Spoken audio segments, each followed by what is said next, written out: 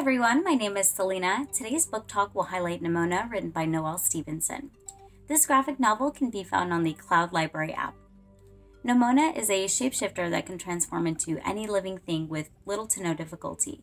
She has joined the villainous Ballister Blackheart as his sidekick. Together, they wreak havoc throughout the kingdom while being chased by the hero Golden Lion, backed by the institute that creates the rules for the entire realm. Themes of morality are touched upon in Nimona.